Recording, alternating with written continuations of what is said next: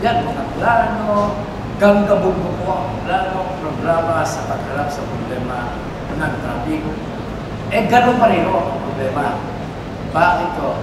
Eh, kasi yun kung pagpapatupad, hindi nangyayari. Ah, kaya yung mga plano-plano, sayang lang yan kung walang karanasan magpatupad at walang kakayang magpatupad.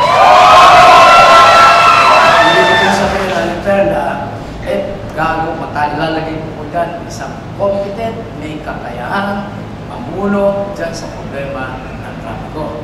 Natunayan, eh, balak po na paghatiin yung DOTC, yung lumabakaroon po ng Department of Transportation at mayroon po naman uh, Department of Communication. Alam ko, alam po nyo, naging, uh, uh, naging gobernador po ako ng Metro Manila, naging uh, namulong po ako sa Metro Manila Development Authority. Eh, ang giya, ang giya po sa pagharap sa problema ng traffic, eh, tatlo po yan. Yan, uh, education, enforcement, engineering. Yung pong engineering, ang dami na pong plano niya. Magagandang plano. Yung iba nga ko yung nabanggit dito, eh. hindi naman ko babago yan. Eh. Kaya lang hindi ko natupad. Hindi ko nangyari. Kaya yung mga dapat magpatupad, mali-mali naman at pagpapatupad. Mali